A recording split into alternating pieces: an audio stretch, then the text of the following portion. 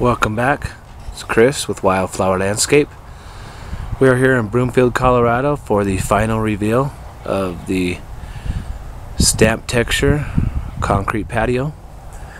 We've got the patio all sealed and we just wanted to bring you by to have a look. You've seen the other videos on the process we used to form it up and then pour it and now we finally got the sealer on it and this is the finished product. It's got a really nice texture a lot of nice color. You've got your two-tone colors here and the sealer really brings out a nice shiny coat on the concrete. Came out really nice. Homeowners are very happy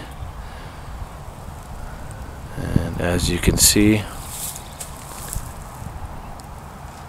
we really took our time and made sure it came out beautiful.